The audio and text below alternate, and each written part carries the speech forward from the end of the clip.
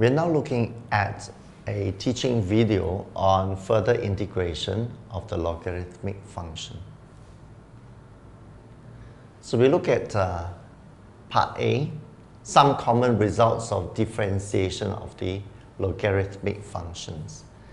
Now for the logarithmic function, we're just looking at those with base e. So any other thing, base 10 or, or 2 or 5, we will not look at. So for this first one, ln a, so we have to specifically pay attention to the expression in the ln function, and that's a. a is a constant, and therefore this whole expression will give me a constant results.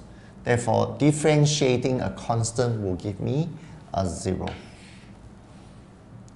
Next, differentiating this expression, ln bracket ax plus b.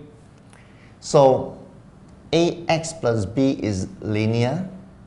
So, when I differentiate that, I have to expect a fraction.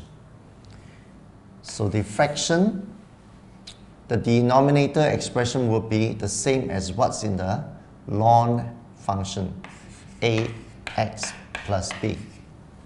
When I differentiate that linear expression, I have the coefficient of x, which is a.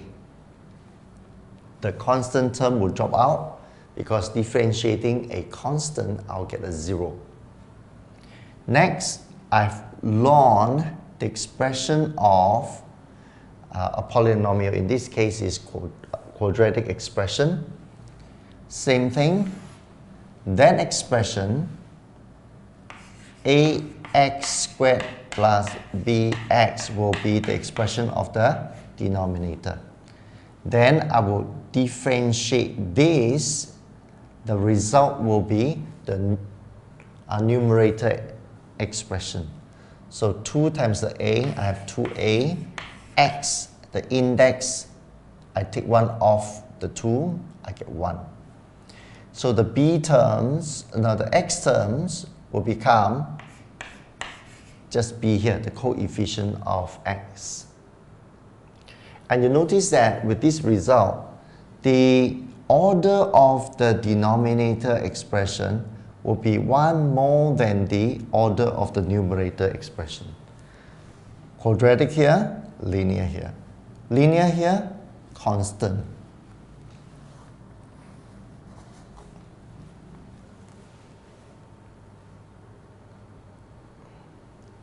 For part B, because we are looking at the integration of the logarithmic uh, expression of this form, you can see fx and here you have f dash x. Now f dash x is actually the first derivative of the f of x. So we are looking at this expression ax plus b. So if I differentiate that expression, I have a. So you look at the numerator expression, that's a. So they're connected in this way. If this is f of x, this will be f dash of x. So the result will be ln bracket whatever I have for the denominator expression.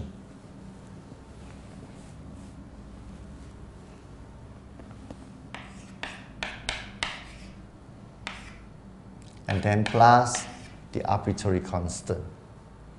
Next, is a fractional expression and I look at the expression in the denominator. When I differentiate that, then I get 2ax plus b, which is exactly uh, what I have for the numerator. So the result will be ln the denominator expression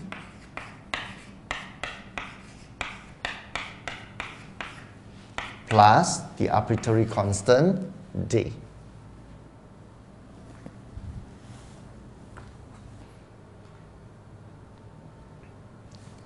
Next, for part C, we are looking at the use of partial fraction, uh, partial fractions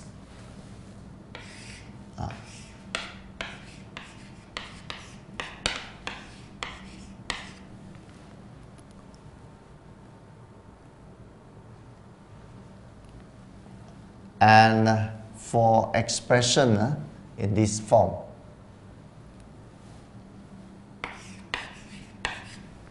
So in this case, uh, you can see that I have in the denominator two linear factors. So in order to integrate such an expression, I will have to break that up into another form, which is the partial fractions that I'm talking about. So the whole idea of partial fraction is we look at a certain fraction and see how we can actually split it into two or more fractions. So in this case, given a general one like that, the partial fraction will be a, a constant, over one of the linear factors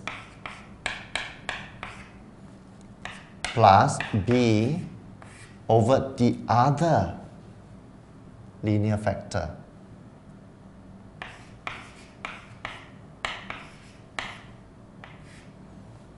And then integrate with uh, integrate these expressions with respect to x. As for the other one, I have got repeated linear fact, factor. So in this case, the partial fraction will be uh, a over that linear factor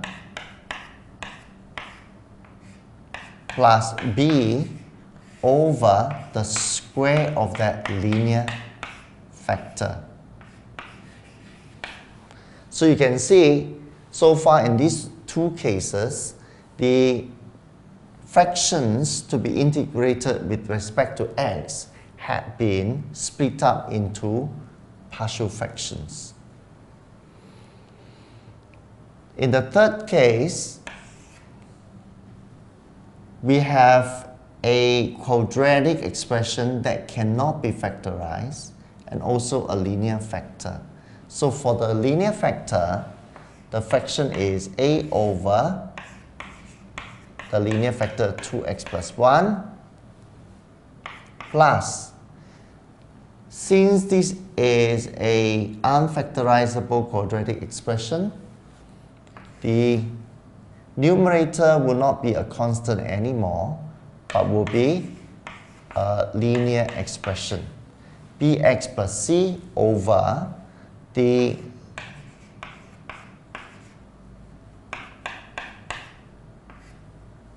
the unfactorizable quadratic expression. Now you can see uh, what seems to be a complicated expression to integrate, but with the use of partial fractions, particularly for expression of this form, we can actually uh, work out the integration. So we have come to the end of this particular video segment.